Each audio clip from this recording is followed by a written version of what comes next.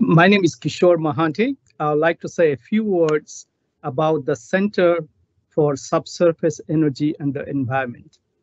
Uh, there are about 25 professors who work in this center.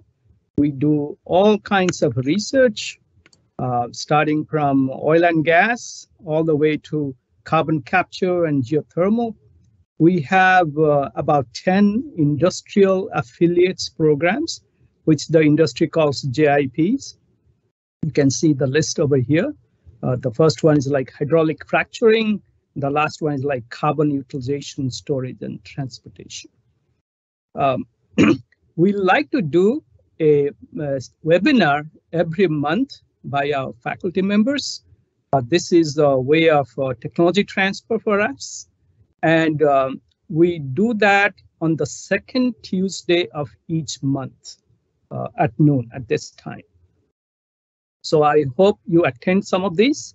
And if you cannot attend, we put these webinars on the YouTube channels of our uh, center, so you can also get to it there. So uh, we have a seminar next month. Uh, it will be May 10th. That's by Professor Larry Lake. He will be talking about uh, going from CO2 EOR to CCUS. In fact, uh, here is the flyer for that. So I hope you can attend that next month. But today's speaker is uh, Professor Matthew Balhoff. He's in fact the director of our center. He got his PhD in uh, 2005 and joined UT uh, in 2007, has been here 15 years, uh, worked through the ranks. He's now a full professor. He's actually called the Bank of America professor. And uh, he has published 85 uh, peer-reviewed technical papers in journals and bagged a lot of um, awards from SPE. Um, so uh, he's going to be speaking today on polymer flooding. So uh, if you have any questions during his talk, uh, please write down your question in the Q&A section and um, Matt is going to answer those at the end of his talk. So with that, um, Matt Balhoff. Okay, um, well, thank you so much, Kishore, for the introduction. Um, today, I'm going to talk about new insights and mechanisms for chemical enhanced oil recovery using polymers. Most of this work was conducted as part of the uh, Chemical EOR Industrial Affiliate Program. Uh, we have our annual review meeting later this month for our sponsors. If you're interested in learning more about it, at the end of the webinar, we'll provide a link for a very short video describing some of the work that we do there. So uh, in chemical enhanced oil recovery, uh, there's at least two different ways to, to do this or, or a combination. One is to use surfactants, of course. And so surfactants are designed to reduce the interfacial tension and alter the wettability. And in that way, it produces residual or capillary trapped oil. The other popular method is to use polymers. So polymers are, of course, uh, viscous macromolecules in an aqueous solution. And because of their high viscosity and favorable mobility, they give us mobility control. So the idea is, is that instead of having uh, fingering and poor mobility control, we can get better sweep efficiency. So in this way, we produce uh, bypassed or unswept oil. However, the conventional wisdom is that polymers do nothing for residual oil saturation. Again, that's what surfactants are for, and we often use those in, in combination as well as with alkali. What I hope to show you today is, is that polymers, if they have special tailored rheology, they can reduce the residual oil saturation. So in addition to unswept oil, we can produce residual oil. And some of this came, uh, this motivation came from a plot that uh, my colleague Gary Pope showed me uh, years ago when I first started at UT. And this is a, uh, some work that a master student did uh, quite some time ago and showed that in two similar cores, the polymer flood appeared to produce a lower residual oil saturation than the than the water flood. And, again, that's really exciting because it, it sort of goes against what uh, we have done for uh, assumed for decades. Um, so you know the question, of course, is is the polymer flood really reducing the residual oil saturation? It's possible that because of the mobility ratio that water flood would eventually get to that SOR, but it would take many, many, many pore volumes. It's also possible that we had, uh, even though the cores are similar, that they were different enough to where uh, we get that. But it was still an exciting result nonetheless. And there have been other researchers that have shown in the field and the laboratory that uh, there could be something here. That if the polymer had special rheology, that is, it's viscoelastic, then it might reduce the residual oil saturation. So a little bit of background about rheology. Uh, or, or um, first, let me talk about a capillary desaturation curve. So this is the residual non-wetting or oil saturation versus capillary number. And what we see is the residual oil saturation is uh, is basically constant for low capillary numbers. And then if you get above the knee of the capillary of the, of the, capillary desaturation curve, this critical point, then the residual oil saturation decreases tremendously. Now, a typical water flood is somewhere over here, 10 to the minus 6, 10 to the minus 5. Um, so reducing interfacial tension by orders of magnitude can get us over here, right? So that's that's why we use surfactants to reduce residual oil. But a polymer increasing the viscosity and we can see that the capillary number is proportional to the viscosity, might only increase this by an order of magnitude and, and should have no real effect on SOR. So again, that's why we, we've believed for decades that, that polymers do nothing for residual oil saturation, even though they produce unswept oil. So uh, about the rheology, EOR, polymers are almost always shear thinning and they may be viscoelastic. So here's a typical plot of viscosity versus shear rate, and the red curve is in a rheometer. Uh, this uh, this text box is covering up, but usually you have a Newtonian plateau, and then at higher shear rates, the viscosity decreases. That's what we get in the rheometer in bulk. In some core samples, um, in, in some core flooding um, that we do, we'll see some shear thickening occur at high shear rate. So it deviates from what we get in the rheometer. And that's usually attributed to viscoelasticity. Now, again, some polymers like hydrolyzed polyacrylamide are viscoelastic, especially high molecular weights and low salinities. Other polymers, many biopolymers like xanthan and scleroglucan, uh, tend to not be viscoelastic and we don't see shear thickening behavior. Uh, more about the elasticity. So a viscoelastic fl fluid is has got properties of both a viscous fluid and an elastic solid.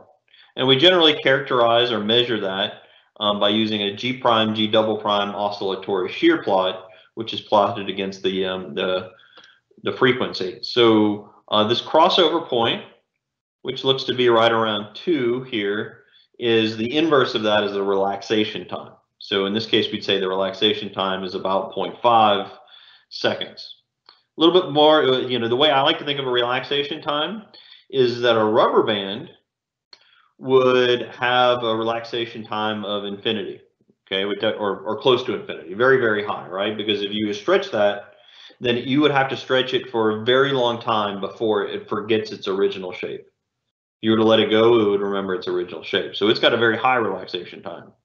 Uh, a viscous liquid like water would have a very short relaxation time because it would forget its original shape almost immediately. If you were to pour it out of a cup, it would it would it would uh, develop a new shape and wouldn't remember the, the cup that it came from.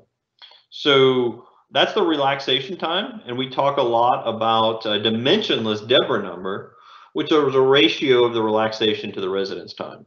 So the Deborah number is proportional to the relaxation time as well as the velocity. So in a lot of the work that I'm going to show today, I will uh, talk in terms of the dimensionless Deborah number. and show that as we increase the Deborah number, we can reduce the residual oil saturation more. Uh, in the laboratory, it's fairly easy to increase the velocity, which will increase the Deborah number. So sometimes I'll do that.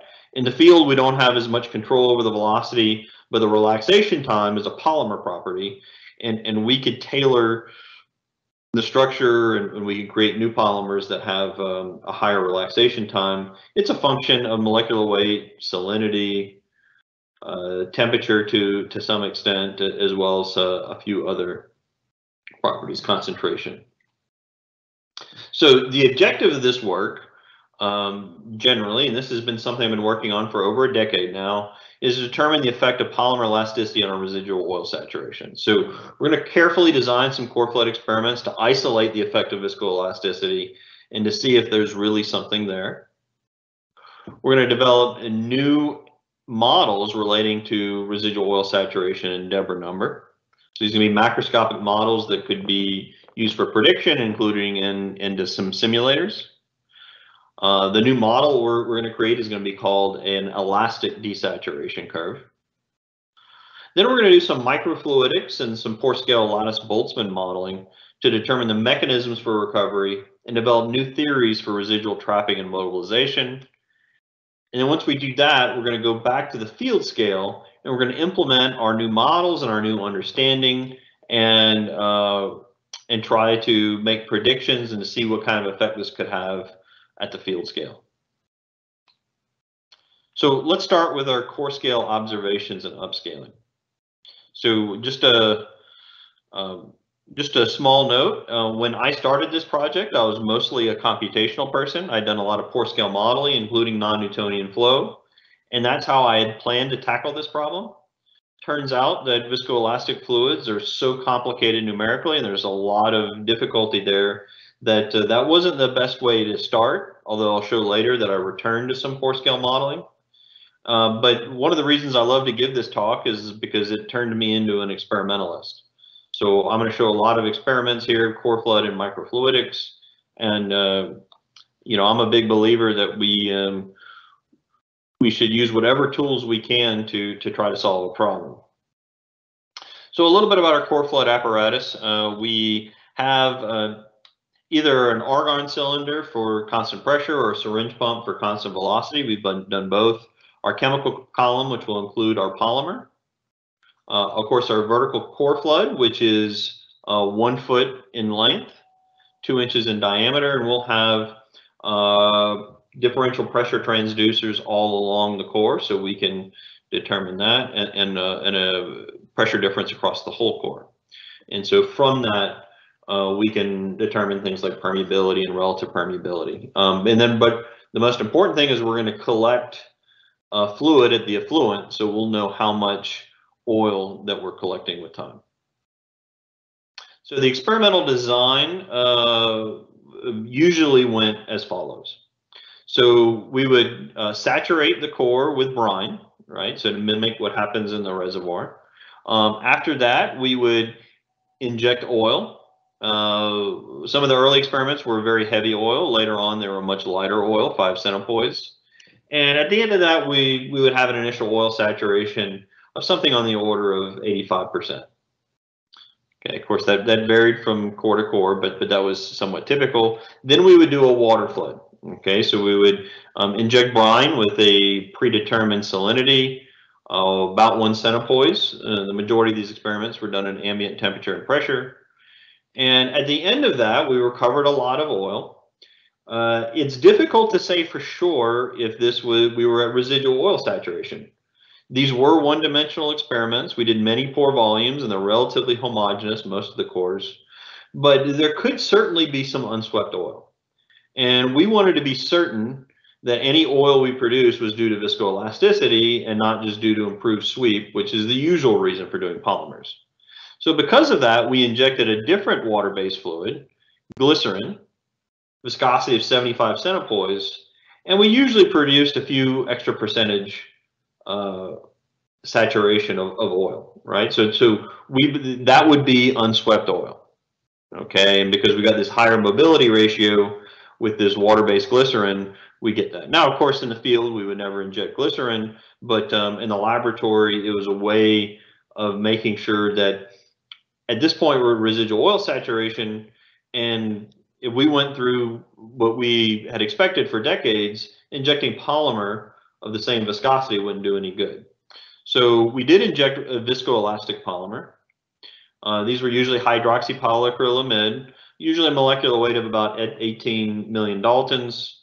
Uh, at the apparent shear rate in the core, uh, it was about 75 centipoise, so no more viscous than glycerol. Nonetheless, many of our experiments, most of our experiments, we produced additional oil. And so I'll show you some additional details about that. So uh, here's an example of one core flood experiment. You can see that this work was published in 2017 in SPEJ. This is the water flood, okay, and this is where we kind of reached an asymptote. No more oil came out, so the oil cut was zero. We weren't sure if we were at residual oil saturation, so we injected that glycerin, which was a Newtonian fluid. It was not viscoelastic, so it had a Deborah number zero. And we did get a couple of extra percent of oil out, but at that point, we really did believe we're at residual oil saturation. Um, and, and, you can do fractional flow theory and, and, and, show that. But when we injected our polymer flood with a Deborah number of about 15, we produced an additional 5% oil. And this is fairly typical. And in fact, I would say normally we even got more uh, more oil. So uh, on average, I would say is more like 8, 9, 10%, which is extremely significant. And again, not what we would expect based on fractional flow theory and, and the mobility ratio. To, to further see if we understood this, we did uh, an experiment in our medical CT scanner, our, our computer tomography scanner uh, down in our basement. And um, the way that this works is that you've got a vertical positioning system and you've got your x-ray beam and you put your vertical core in there and then uh, as you lower the core, then then it, it, does these scans, and you can look at slices uh, of the core. So again, you know, this is a medical CT scanner, so it works exactly the same way. Here's a picture of the actual CT scanner we have in our building. Um, you can see here's the core, here's a vertical positioning system, and that core can be lowered. So when we did that, we did um, about one centimeter each. So there were 30 slices. I'm just showing five equally spaced slices.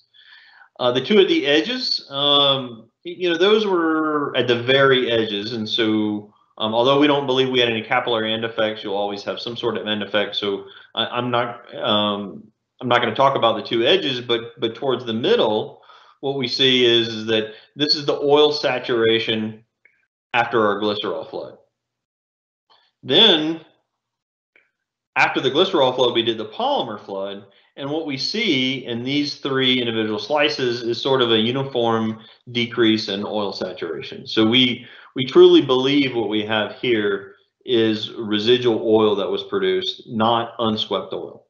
Okay, and we've, we, we you know, that was expected from common sense, from some fractional flow theory, and now proven through our CT experiments. So we're definitely showing that there's something here. Uh, we've done dozens of these experiments. We've done them in Bentheimer cores, Berea cores, Bo Boise uh, rock core types, then high and low viscosity oils. Uh, we vary the Deborah number. If, if it was a Newtonian fluid or the Deborah number was close to zero, we would usually produce almost nothing. And um, but if the, the number increased, that we got uh, additional oil. Here's an experiment where we have oil saturation versus pore volumes injected.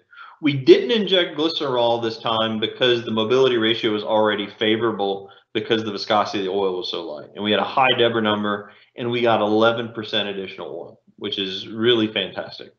And so you can see the final oil saturation is something like 25%. Uh, so yeah, it was again, we've done dozens of these experiments. Uh, we've probably done more experiments than what I have shown here, but here is a plot of the residual oil saturation after polymer to um, after the after the glycerol flood, or if there was no glycerol flood, the water flood versus the Deborah number. And if we had a very low Deborah number, then nothing would happen. But as we increase the Deborah number, uh, the residual oil saturation would decrease. Uh, there's a lot of scatter in, in, these, which is expected. These are these are these are core floods, and, and rocks are complicated, but there's definitely a trend here, and, and um, it, has got this flat, and then it decreases with the log of Deborah, Deborah number, as we see over here, and, and we fit uh, a model to it. Uh, now, this curve looks a heck of a lot like a capillary desaturation curve, um, which had SOR versus capillary number on a on a linear log scale. Um, because of that, we call this an elastic desaturation curve or EDC. I will use this curve and this empirical equation in some simulations that we'll do later on. So uh, what I show here is another experiment. This is oil saturation versus pore volumes injected. We have our brine flood or water flood, and then we do our glycerol flood. We do produce some more oil there. Uh, I believe that this wasn't a Bentheimer. And um, then we did our polymer flood. And, and I want to be careful here. I call this a low salinity polymer flood, and many of you might be familiar with a low salinity effect uh, that's observed in reservoirs. But the salinity was no different than the water flood and the glycerol. So even though the salinity was relatively low, it wasn't any different. And uh, the reason why I used a low salinity is because the lower salinity, the higher the relaxation time and Deborah number. And you can see here we had a very high Deborah number of 300 in this case. We produce an absolutely fantastic 14% recovery. Uh, a little bit of story about this experiment. This was done by a brand new student, um, Mehmet Arensic. This is his first experiment. We were excited about the results, but you know, especially since it was a new student, we wanted to verify the, the mass balance. And, you know, 14% seemed like a lot. Uh, we wanted to do an additional tracer test, changing the salinity, and um, to see if, uh, you know, to, to get a double check for what the mass balance is, right? So that's one way to do that. So we asked the student to do that, and, and he comes back and says, well, you know, I did this experiment, and I got an additional 15% oil out, the final oil saturation 7%. So he told um, Gary Pope and I this, and and um, be honest, we didn't really believe him. thought there was some more sort of mistake there. So we asked him to redo it, and he got very similar results. Um, then we asked our, our more experienced PhD student, Pengpeng, to do the experiments in a different lab with different equipment and and to, to follow the procedure. And he got, again, very similar results. All in all, we've, we've seen this probably a dozen times. So the summary is that chasing the viscoelastic polymer with an inelastic flood reduces residual oil saturation even more. And I would describe this as perhaps our most impactful and shocking discovery. Uh, I think in one experiment we got as low as four percent, which is which is unheard of for polymer floods right? That, that's the kind of saturation we get for a surfactant flood, which reduces residual oil, but, but never for, for polymer floods. So uh, really exciting, very repeatable. We've had multiple students do this in different labs and um, it's really an interesting result.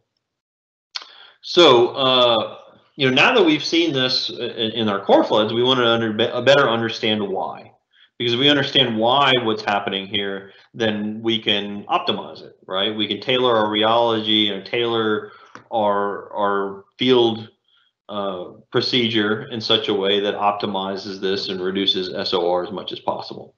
So we wanted to do some pore scale observations and mechanisms, and this included some microfluidics, some micromodels, which are, are microfluidic porous media, and some Lattice-Boltzmann numerical simulations. So I won't go through all the detail uh, about how we do this, but we have a very sophisticated microfluidic and micromodel uh, laboratory um, here at UT Austin in, in, the Center for Subsurface Energy and the Environment. Uh, our fabrication technique, we usually use glass. Uh, we find that that um, to be you know, the, the best way to do our experiments, and we use hydrofluoric etching to do that. We can create any geometry we want using AutoCAD and uh, and then we can do experiments cheaply and efficiently and, and visualize what's happening. So uh, I want to start out with some microfluidic experiments in a single channel. So this was some work that uh, a PhD student, um, Zhu Ke, did for me um, quite some time ago.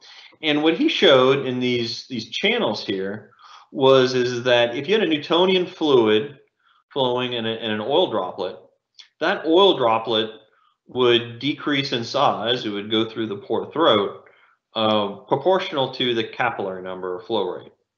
And he was able to drive a relationship that says the size of that droplet should be proportional to the capillary number to the minus one third. And experimentally, we saw exactly that. Didn't matter if it was brine or glycerin or another Newtonian fluid, we would get this nice capillary number to the minus one third relationship. And so this is published in, in Langmuir in 2015. So what I talked to my graduate students about is I said, well, you know, I bet I bet something different will happen if we use a viscoelastic polymer. Um, turns out if you use a shear thinning polymer, then nothing different happens. But I said for a viscoelastic polymer, I bet that we'll get more oil out uh, at the same capillary number, or it won't quite follow that minus one third. It'll be even better. So on the left is the Newtonian glycerin. On the right is our viscoelastic polymer HPAM at different flow rates or increasing capillary number. And what we saw was extremely interesting. Um, so let's see if I can.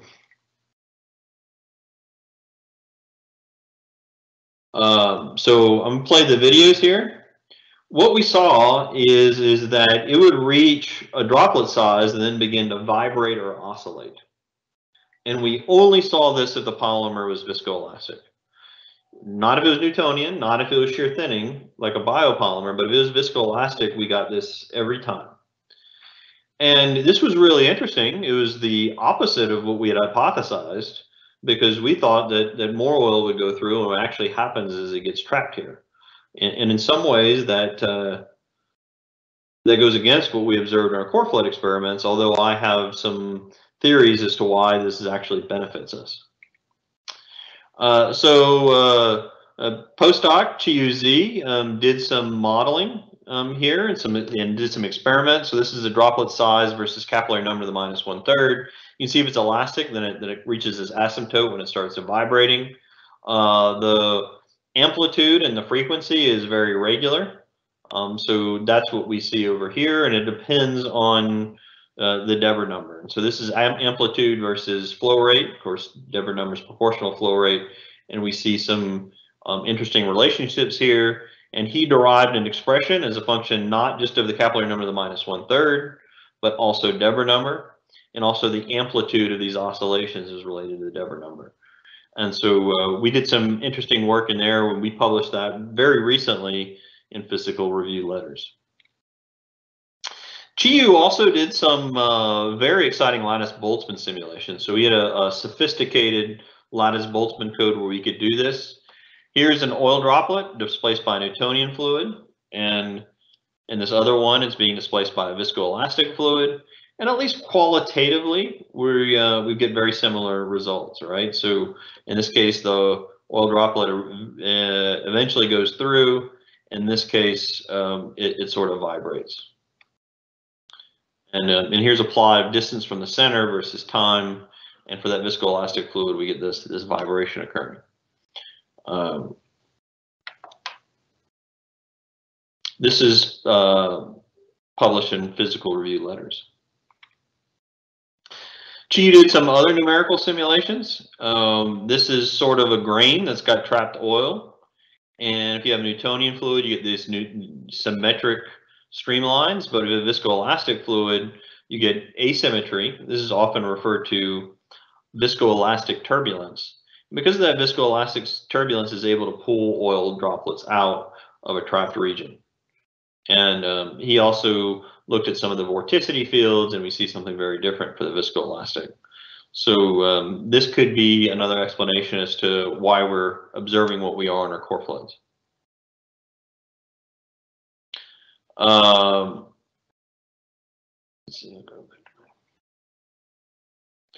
so here's another geometry.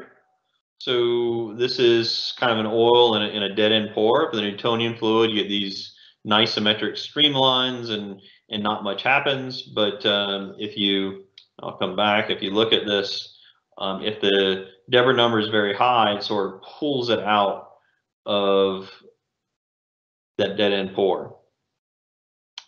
And then there's one more simulation they did, which I find really interesting. So this is a pore doublet model, which you may be familiar with and is one of the theories for how oil gets trapped. And in this case, if it's an inelastic fluid, could be an inelastic polymer or brine or, or glycerol, what, whatever, the oil gets produced at the top, but then gets trapped at the bottom. If we do a viscoelastic fluid, what happens is that the bottom oil droplet gets produced and not the top one. Now, that's not necessarily better or worse, but it, it could certainly explain why we produce additional oil or different oil than we would from that. Um, but then we did one last numerical simulation. We said, well, let's say after a viscoelastic injection, where, where here's our initial condition, we, we do this simulation with when we chase it with an inelastic fluid again. Then it produces that last bit of oil.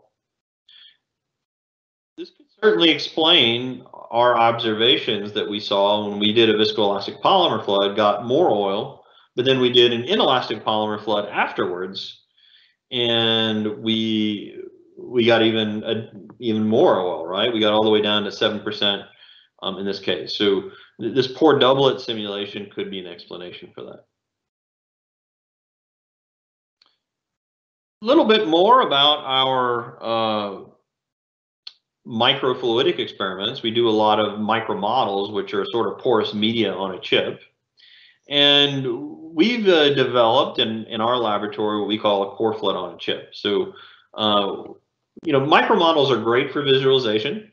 One of the limitations is they tend to be small, like maybe a square centimeter, two dimensional. Sometimes they've got regular geometry and then the, the surface chemistry doesn't necessarily mimic what we have in rock. So what we did is we sought out to create a micro model that better mimicked real rock cores, right? And so some of the things that we wanted is to have three-dimensional features so that it captured snap-off and residual oil and also provided continuity of the grain phase, heterogeneous pore structure, uh, tailorable surface chemistry, and then finally, and this is a big one, length scales on the order of feet, right? Because our core floods are like a foot long.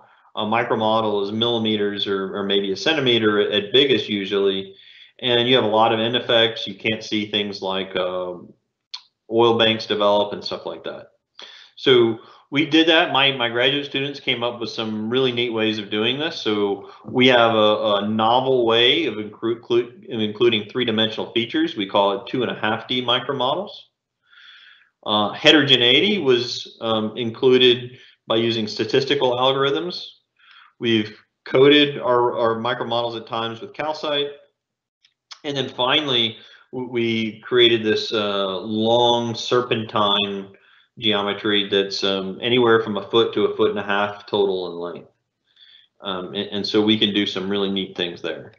And so uh, if you zoom into this core flood on a chip, um, you can see that this was the, from AutoCAD, we've got our heterogeneities. And then if you um, look at the actual chip, you've got our grains and our throats and, and pores uh, inside there. So it's this heterogeneous foot long pseudo three-dimensional uh, micro model, so we call it a core flood on a chip. You can do some uh, really neat things with this. We can do everything basically we can do with the core flood. Um, things like measure the permeability. So here's the pressure drop versus flow rate, and of course it's linear. Uh, we can do um, tracer test and determine the porosity or pore volume. So on the top is um, from the micro model and the bottom is from a Berea core. So qualitatively you get very similar type things. Um, and of course, we can do some, you know, oil recovery experiments.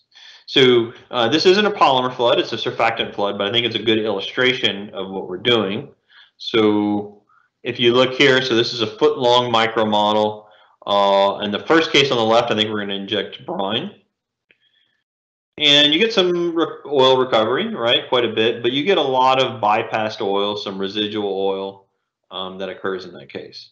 On the right, we're going to inject surfactant, which is of course going to lower the interfacial tension. and it does an excellent job of, of producing that oil. And so you can visualize that. This is something that's very diffi difficult to visualize in a core flow. And here's a snapshot of the experiment. And what's really neat is that we can actually visualize that oil bank and see how that oil bank moves with time. That's something that, uh, you know, again, is very difficult or impossible to see from core flood. So we think we can do really neat things with this core flood on a chip. I see them as uh, sort of screening tools for enhanced oil recovery, right? Because these experiments can do be, be done very fast. They can be done very cheaply in, you know, a bunch of them could be done in parallel. And then the ones that look promising, then we move on to the core floods, which tend to be time consuming and expensive and, and, and a little bit harder to do.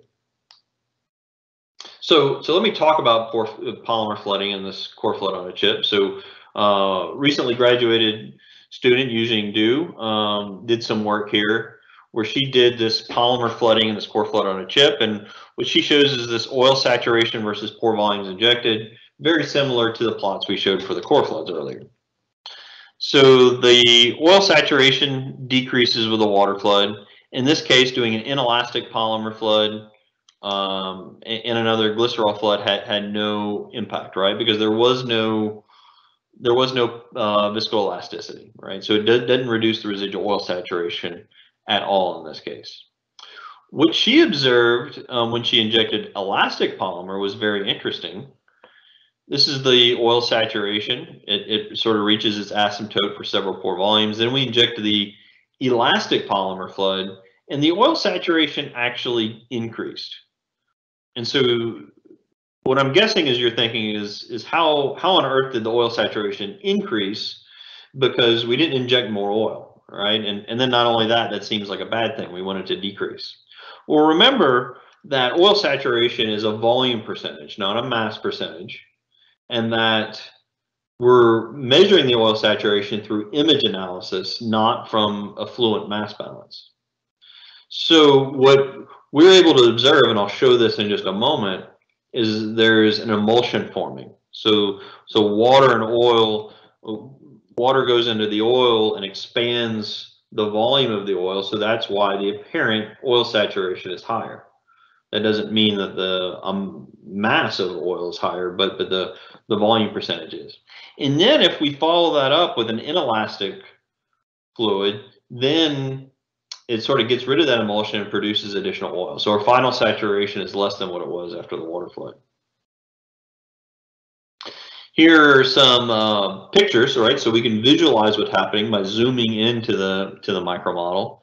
And this is after, say, a glycerol flood. This is an elastic polymer flood. And if you look closely, you can see places where you can see the same amount of oil is expanding and taking up more volume, right? So that's these emulsions that I was talking about. And then finally, if you follow that up with an inelastic viscous flood, then it decreases those emulsions and actually mobilizes the oil and produces more of it. Okay. So um, again, you know, this could explain some of our observations from our core floods. So now that we have a, a fairly good um, understanding of what's happening at the pore scale, or I should at least say uh, we've seen enough interesting things to develop some new hypotheses. Uh, we wanted to see what would happen at the reservoir scale, right? Because none of this matters if it's just a laboratory effect.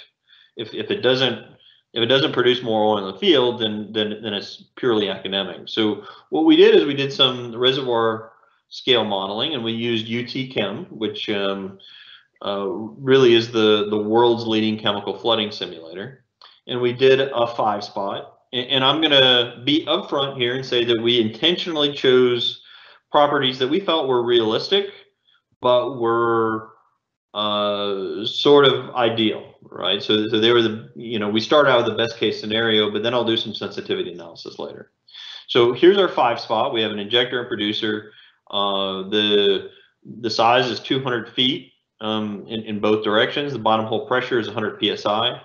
We initially inject brine at 1,000 barrels per day for half a pore volume. And then after that, we inject our, our polymer with a bottom hole pressure of 4,200 psi. The average permeability is five darcies, which is uh, not uncommon for the types of reservoirs we do polymer floods. And the initial pressure was 3000 psi and an oil saturation of 80%. We included uh, heterogeneity with a Dykstra-Parsons coefficient. Oil viscosity was 40 centipoise. Uh, we used a very low brine salinity in, in this case, and, and, it was the same salinity for both the brine flood and the uh, polymer flood and um, a polymer concentration of 0.4. The residual oil saturation was 0.3. So again, using a water flood or, or old understanding of polymer floods, we would never expect to get less than 30% oil, even if we did an infinite number of pore volumes of water and polymer. We'll see if we can do better than that. To model this, we've included the elastic desaturation curve, and this is in our most recent versions of UTChem. Um, and what we did say is that we did show significant reduction in residual oil. So this is a plot of the Deborah number. And remember, a Deborah number of anything greater than about 1 or 10, we really started to see significant reduction in oil saturation in that elastic desaturation curve. Near the wells where the velocity is highest, the Deborah number is the highest, right? So we're looking at Deborah numbers of a thousand or greater near the wells, but even far from the wells, we're looking at Deborah numbers on the order of, of 100 or at least 10. And, um, and, and so we expect that to reduce residual oil, and in fact, we did. So here's an injector and producer again. This is the residual oil saturation. Near the wells, we're getting to as low as 12 or 15 percent. Even far from the wells, where the velocity is lower and the Deborah number is lower, uh, we're at about 20 percent or so. And remember, the theoretical limit was 30 percent, right? That was if we did an infinite number of pore volumes of water inelastic polymer. So uh, that's um, really exciting and a demonstration that uh, this is this is plausible. This is something that, that we could see. And we look at the uh, numerical results. This is oil recovery versus pore volumes injected. The blue curve is the water flood. And, um, you know, it, it's going to continue to go on. We would have to inject an infinite number of pore volumes of water before we would get to uh, residual oil saturation. So um, that's the reason why we do polymer flood. So the yellow curve is an inelastic polymer flood, and it does what polymer is supposed to do. It improves the sweep efficiency. It gives us our oil out faster and you know significantly more oil the same number of pore volumes injected. But then we injected the elastic polymer, which had the same viscosity, right? Same viscosity, same everything, but but now we included elasticity and the effect of elasticity, and what we got is about um, 12% uh, additional oil recovery um, from those, right? And, and that's not doing anything special. Um, it, it's still just doing a polymer flood. It just might be trying to tailor the rheology so that it's got a high relaxation time, high Deborah number. Uh, we did do some sensitivity analysis, right? Because as I mentioned before, we did produce some conditions that were very favorable to our, our elastic polymer flood. Um, in the favorable case, at a base case of about 12.3%. However, we um, we also see that um, even as we vary that, lower concentrations and higher salinities and and um, lower relaxation times and, and whatnot, we still got a significant amount of oil, right? Um, and even these small numbers like 3% is pretty significant when you consider that um, we're not doing anything differently, right? These numbers are over an inelastic polymer flood. So it's a polymer flood either way. This is just additional recovery. So that's a sort of an additional bonus, I guess, you get from your polymer flood. So uh, with that, I'd like to finish with some final thoughts. Um, so the final thoughts are that viscoelastic polymers, what we've shown over and over again through our core floods, is that they do reduce residual oil saturation beyond the water flood or purely viscous fluid, all right, or even a shear thinning fluid. Um, and we've seen that in many water wet cores and even in some oil wet cores um, is a little less um, convincing, but we definitely saw something there. Uh, and again, this goes against decades of understanding of how polymers work. Um, now, other researchers have seen some similar things, and, um, and, and so I think that there's a growing consensus that um, elasticity has a has an effect. New models of polymer relaxation time and this elastic desaturation curve were developed and implemented into UT Chem.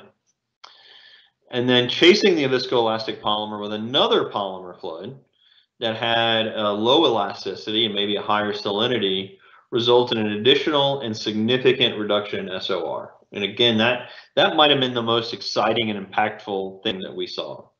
Um, there have been other researchers that have shown an elastic effect, but to my knowledge, this is the first time we've seen that.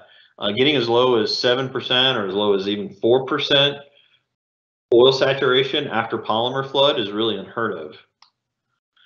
Uh, the pore scale microfluidic and micromodel experiments, as well as the Lattice Boltzmann simulations, provide new insights into these exciting observations that we had. And then finally, our simulations in, well, I call it a real pilot, but a synthetic pilot test showed that the viscoelastic polymer can recover incremental recovery over inelastic polymers at the field scale. So with that, I'd like to thank the many students and postdocs who, who've done this work over the last decade or so.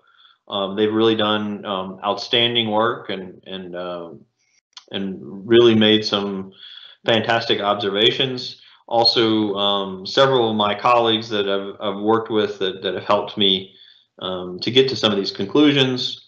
And of course, our, our, funding support, especially the Chemical EOR Industrial Affiliate Program, and uh, our recent collaboration with King Fahd University of Petroleum um, that made it possible. And um, again, I'd like to thank all of our sponsors in the EOR IAP.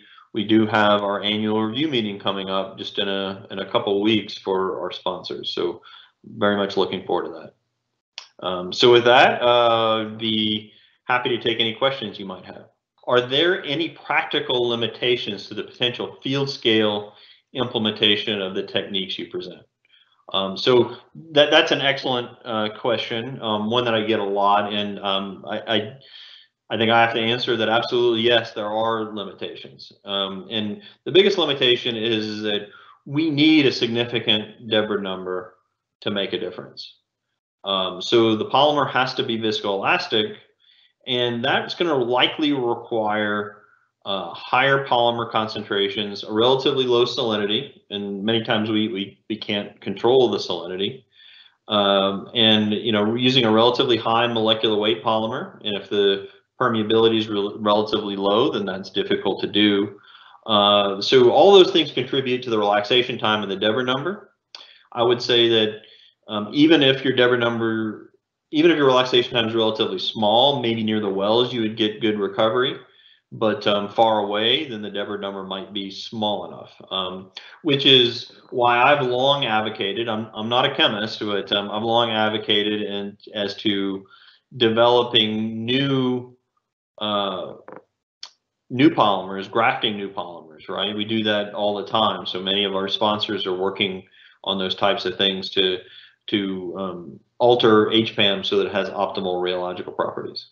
And, and so then there's a follow-up question to that which was salinity was too low in majority of your test. Um, it, it was very low, right? So, um, you know, the my approach to uh, experiments and, and, trying to, to do science is, is oftentimes to, you know, let's let's look at the extremes and see if there if there's something there. And we knew that a low salinity would increase the relaxation time and increase the Deborah number and we wanted to see if there was really an effect there.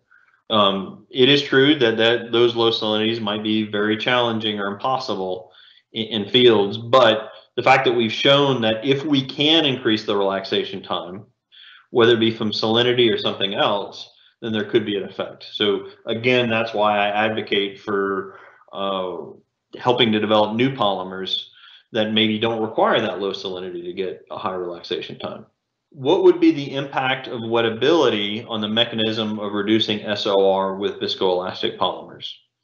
Uh, so Another great question that we haven't answered entirely yet. Um, I did allude to the fact that we did two or three uh, core flood experiments that were oil wet. So what we did is I think we took a Bentheimer core but aged it um, to change the wettability. Uh, that was work done by Julia Jin and it's in, in her um, thesis and papers. What we saw is what appeared to be an effect. It was a little less conclusive, so it's hard to say for sure. Uh, some of the mechanisms that, I, that we demonstrated with our microfluidics and Lattice Boltzmann may have only been in water wet media. So I think there still needs to be work done in, in the area of wettability. Uh, we do see what we appear to be in effect, but I, I don't want to come to too conclusive of a um, final statement on that. You know, again, the question is how can Deborah number be increased? So Deborah number, uh, what we showed was the dimensionless number that that had the greatest effect on this residual oil saturation, it is proportional to both the velocity and the relaxation time. So double the velocity, double the, the Deborah number. That's not something that we can always do in the field, right? So um, we're, we're, we're limited by the permeability and what our, our pressure gradients can be. Uh, but relaxation time is something that we can control. And, and it is a function of the molecular structure, the molecular weight, the concentration, the salinity, and some of those things are, the, are, are things we can control. Um, and and I'll I, I, know I sound like a um, like I'm repeating myself, but um, but that's why I think that there's uh, reasons to to graft new polymers and, and develop new polymers that have that optimal relaxation time because it, it most definitely is a function of the molecular structure. How does the relationship between SOR and Deborah number change with meta- wettability. Um, so again, to follow up what I said before, we, we just don't have enough data at this time to to do that. So that that's something I would be very interested in learning more about. And I think a lot of these questions are similar. So so here's another one. How do you think the effect of polymer flood on carbonate rocks? Um, and for fractured um, reservoirs. So um, the questions about polymer flooding um, in, in general, then you know they're very promising, and we do do lots of polymer floods in in in carbonate rocks, um, which tend to be oil wet or or mixed wet. Um, there's another part of that question is about um, fracture media, and um, they can be excellent for conformance control, right? So carbonates are historically you know very heterogeneous, and you have a lot of fractures, and, and the polymers could contribute to that. As far as the elastic effect, uh, again, we're still not sure yet. Um, even the oil wet media that we did experiments on, those were in Bentheimer, which are naturally water wet, but we we changed the wettability. Um, and the reason why we did that is it's really hard to do comparisons with carbonate rock. So if I did two experiments and I showed one recovered more oil than the other, it'd be hard to determine the reason because the heterogeneity of those two, the pore structure of those two cores would probably be very, very different. Another really good question is um, how do you make sure the benefit is not due to low salinity? So uh, there, we all know that there is a, a low salinity effect, and this has been seen over and over again, both in the field and experiments, that if you lower the salinity, then that changes um, it, that improves recovery. And there's lots of different theories as to why that works. So to um, answer your question, I would say two things. Um, the first is that even though the salinity was low, it wasn't any lower than the water flood and the brine and the and the and the glycerin flood that preceded it, right? So if there was a low salinity effect, then the the initial floods would have already um, accomplished that, um, right? Um, the other thing is, is that we did do experiments where the salinity wasn't particularly high, but we increased the relaxation time in other ways and we got similar results. So it seemed like if if we got a high Deborah number, regardless of how we got there, whether it be low salinity or higher molecular weight or higher velocity, that um, we would get similar results. Mojda has a great question here about said polymers are often degraded before flowing in deeper formations. what is the impact of degraded polymers on Deborah number and SOR reduction. So uh, the degrading the polymer um, will reduce its molecular weight and it will almost certainly reduce its relaxation time and um, and therefore the Deborah number. So that would be another uh, practical limitation, something that we'd have to take into effect, right? So um, um, mechanical degradation is is often intentionally done for for low permeability reservoirs. So uh, there's a question about, um, you know, comment on the effect of viscoelasticity on a heavy oil viscosity greater than a thousand centipoise, um, like those in Pelican Lake. Um, they are, um, so we did do heavy oils, um, but I would say we didn't go above about 150 centipoise. So I don't have any data for a thousand centipoise. I would say that uh, I wouldn't expect anything different. Um, it, don't see a reason um, to see it different. Of course, with those very heavy oils, the, the big advantage of polymers is mobility control. And it would be very hard in the laboratory to be certain that we saw something there because if you did that first water flood with a thousand centipoise, it would take forever to get to residual oil saturation. Um, so um, I, I, don't have enough data to say for sure, but um, I see no reason why there wouldn't be an effect, an, viscoelastic effect there for very uh, high viscosity oils. Um, have you tried cores initiated at SORW using a centrifuge before, before applying viscoelastic polymer? Uh, we we have not, to my knowledge, but um, that was a uh, that's a really good idea maybe something that we should try um, in the future. The next question is, would increasing the viscosity to increase the capillary number rather than uh, decreasing the surface tension impact injectivity? So uh, I'll answer that a few different ways. So absolutely, you know, so, so that's our our big concern with polymer flooding is that uh, when we inject uh, polymers, the high viscosity affects injectivity. And, and, sometimes that's the biggest deterrent for doing polymer floods in, in, reservoirs. Now, we're doing some work right now with uh, Dr. Espinoza and our graduate student Zihao Li to better understand injectivity. Um, and um, and what we're seeing and what, what's observed sometimes in the field is that injectivity tends to be better um, than than expected sometimes. Um, but um, absolutely, increasing the viscosity is going to um, make injectivity uh, more challenging, which is you know the, the major concern with polymer floods. Uh, were the is 100% oil saturated? If so, do you expect different results if you start with water at SWI and oil? So in almost every one of our experiments, we did not start at 100% oil saturation.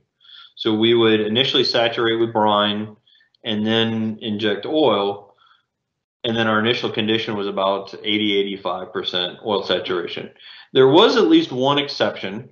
When we tried to do the oil wet core, um, what we found is, is that the initial oil saturation, it, it was, uh, I'm trying to remember the details, but, but it was hard to really come to much conclusion when we started out with an initial water saturation. So we did do one or two experiments in the oil wet cores where we started out with 100% oil saturation um, because that was the only way that we could um, really be able to do a quantitative comparison. But in, in 95, 99% of the experiments, we always started out with an initial water saturation. Thank you all for attending. And um, and I think that uh, if you're interested, that a link will be provided for a, a very short video on our uh, chemical EOR industrial affiliate program um, if you're if you're interested in that.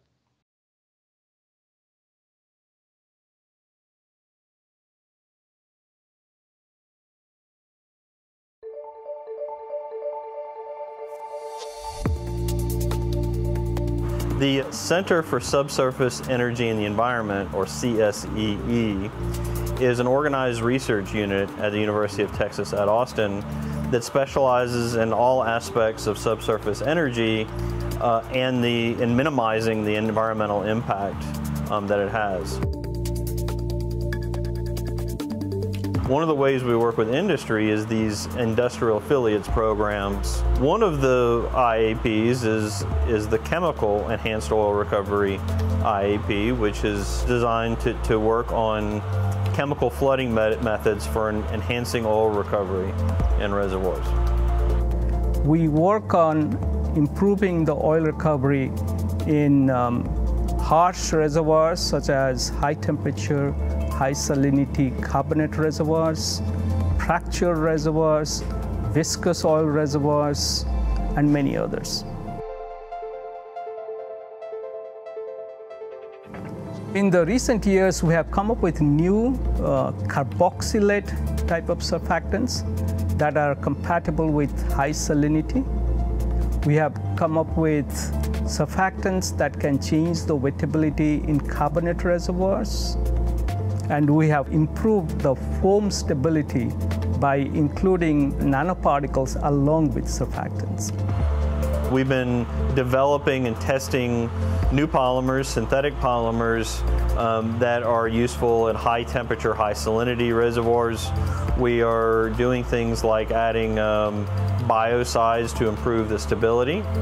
We're testing new polymers that are, effective in low permeability reservoirs including below 10 millidarcies, uh, which really expands the use of what we can do with polymers. We do the experimental research to identify the basic physics that's happening uh, at the small scale, at the lab scale. But then to apply this research at the reservoir scale, which is much bigger, thousand times bigger, we need to take this physics and apply it at that scale. So that's why you have to develop theoretical models and put those models in computational models or reservoir simulations to see whether it is effective at the reservoir scale. We use uh. Um, it's a reservoir simulator. It's the world's leading chemical flooding simulator. What's very unique about it is the, the research that we do here at UT Austin and, and, and in the IAP are inputs into the model. So as, as we have new discoveries, as we develop new models from those experiments, we input them into UT Chem, we test them, we validate them against other experiments and field data. And uh, what we've seen that industry will use UT Chem uh, to benchmark their simulators. Then they'll use the new science and the new models that are input into UT Chem to eventually add to their own simulators down the line. Our industrial partners have a very big role in shaping the research that we do. As we all know, the oil industry is, has big ups and downs, more than, far more than most. That makes it very difficult for the industry to sustain long-term research on enhanced oil recovery. First, they, of course, give us feedback. They suggest things that are important to them, that matter to them. They have problems that they've struggled with, longer term problems, of course, and more fundamental problems that they want us to, to tackle. We continue to do the research with our graduate students year in and year out, decade in, decade out. So that, that is one of our biggest uh, benefits to the industry is this continuity.